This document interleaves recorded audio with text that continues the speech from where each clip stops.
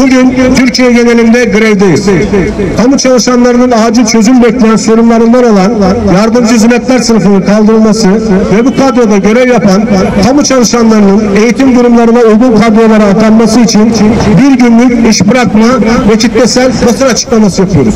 Tüm Eğitim Çalışanları Sendikası tarafından 81 ilde eş zamanlı bir günlük iş bırakma eylemi yapıldı. Madenci Anadolu'da açıklama yapan TEDSEN Zonguldak İl Sekreteri Vedat Aksoy, yardımcı hizmetler sınıfının kaldırılması ve bu kadroda görev yapan kamu çalışanlarının eğitim durumlarına uygun kadrolara atanmasını istiyoruz dedi. Öncelikle 1965 yılında yapılan bir yasa ile devlet memurluğu kapsamına alınan yardımcı hizmetler sınıfı aradan geçen 58 yıl boyunca kendisine ihtiyaç duyulan her alanda depreme, depremde, salgından, yangından, selde ve her türlü doğal afetlerde görevini layıkıyla yerine getirmiştir.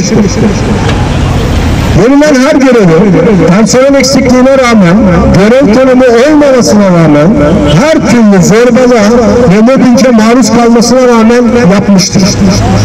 1965 yılında hastaneler, okullar, kamu kurum ve kuruluşları sobalıyken ihtiyaç duyulan yardımcı hizmetler sınıfının sorunları 58 yıldır hiç bir sosyal, özlük ve mali iyileştirme yapılmadığı için dağ gibi büyümüştür.